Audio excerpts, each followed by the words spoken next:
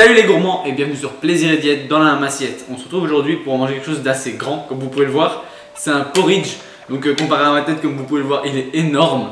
Euh, en réalité, comme vous l'avez vu, il pèse 4 kg, mais bon, le plat pèse 900 grammes à 1 kg. Donc on a environ un, porridge de 3 kg 2, c'est pas mal.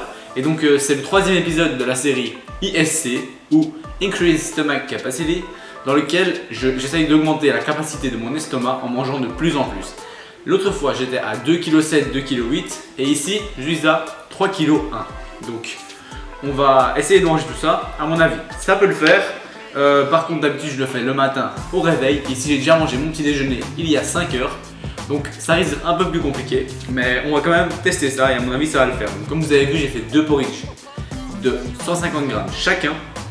Et donc, ça faisait euh, un porridge de 300 grammes, ce qui est pas mal. Et euh, dessus, j'ai mis 15 grammes de cacao en poudre non sucrée.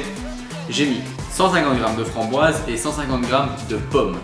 Donc en tout, on a 3 kg 1. Et niveau calories, on est à 1300 calories. Donc c'est quand même assez élevé en calories.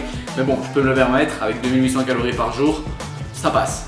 Et donc en faisant 3 repas par jour, ça va et je vous rassure qu'avec ça, j'aurai pas faim pour le goûter. Bon, on va déjà tester un peu ça. Comme vous voyez, il a vraiment une bonne texture.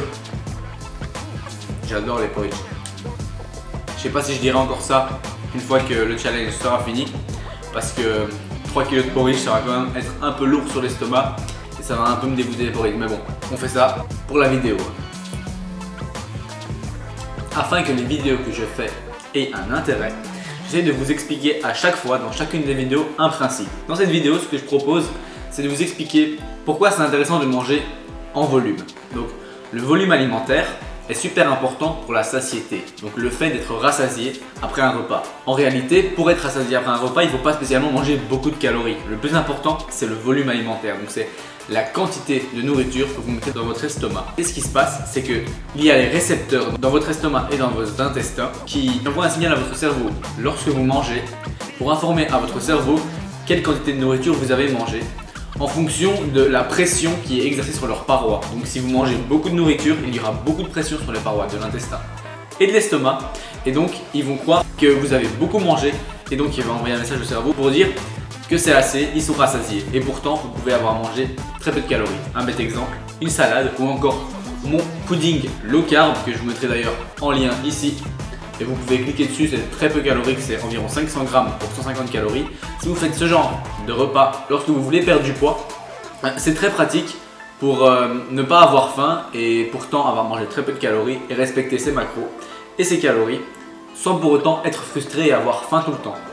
Bon, bien sûr, le fait que la pression sur les intestins euh, envoie un signal de satiété au cerveau est sur le court terme. Par exemple, vous pouvez très bien boire beaucoup d'eau et ne plus avoir faim. Mais le problème, c'est que l'eau, c'est tellement liquide qu'après une ou deux heures, vous allez de nouveau avoir faim.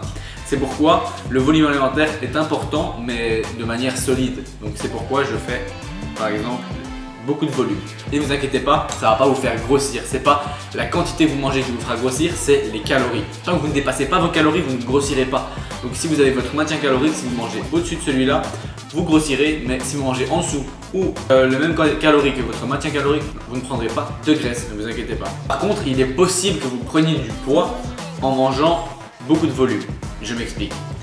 Manger beaucoup de volume, ça signifie avoir beaucoup beaucoup de nourriture dans l'estomac. Ça, engendre parfois des ballonnements euh, et en plus, ça peut engendrer un peu plus de rétention d'eau au niveau de votre sangle abdominale. Et donc, ce qui se passe, c'est que vous allez peser un peu plus lourd. Mais, comme je vous l'ai dit, c'est le poids des aliments. Ce n'est pas du tout du gras. Donc, ce qui est important, ce n'est pas vraiment le poids sur la balance, c'est de perdre du gras. Donc, ne vous expliquez pas à ça. C'est pas parce que vous pesez plus lourd après un gros repas que vous avez pris du gras. Non, vous avez pris du poids parce que vous avez mangé beaucoup en quantité, mais peut-être pas en calories. Et si vous êtes toujours en déficit, vous ne prendrez pas de gras, même en mangeant des grandes quantités. J'espère que cette petite explication vous aura plu. Moi, je vais essayer de terminer ceci. Timelapse dans 3, 2, 1.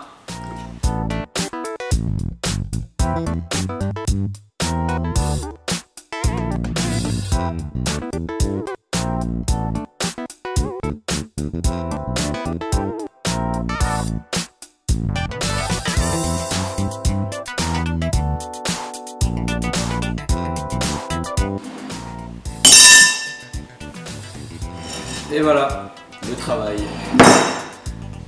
C'était pas mal, franchement, pas trop dur, je pouvais encore le faire. Comme quoi, s'entraîner, ça ouvre l'appétit. hein. J'espère que ce concept vous a plu. Donc on se retrouve pour le prochain épisode de Increase Stomach Capacity. Cette fois-ci, je sais pas ce que je ferai, ce sera sûrement quelque chose de différent parce que c'est mieux de faire tout le temps quelque chose de différent que de faire chaque fois le même plat mais en mettant un peu plus de portions. Dites-moi si ça vous plaît euh, en commentaire quand je vous ferai une petite astuce sur la nutrition, l'entraînement, la diète, ce que vous voulez.